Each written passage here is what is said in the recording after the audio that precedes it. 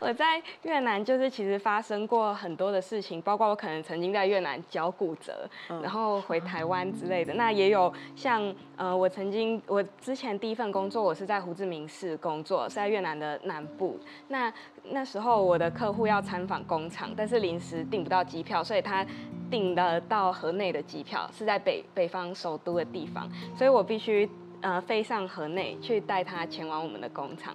那那一天我提早前往，然后那天是下着大雨，我就上了机场那个会一直拉客的计程车，结果他们开到一个桥下，然后就有一群人聚集在那边，然后就有一个人坐上来到我旁边跟我说 eighty dollar，就是他要八十美金。啊。然后他说要八十美金给他，他才会愿意继续载我。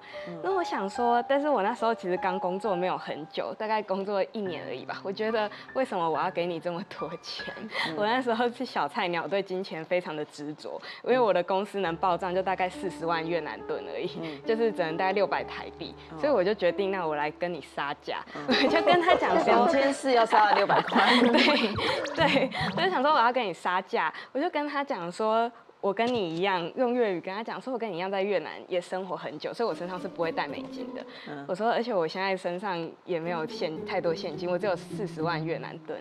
我说那越给你越盾可以吗？他说可以。我说但是我只有四十万越南盾。我说要不然我给你三十八万，啊我留两万，等一下我到旅馆我还有办法出去，就是买个东西什么的。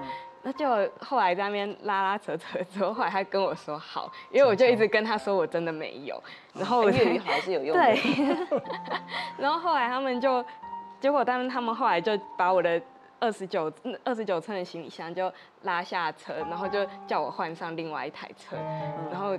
他们就接受了我那三十八万越南盾，然后用另外一台白牌车把我载载回我的旅馆。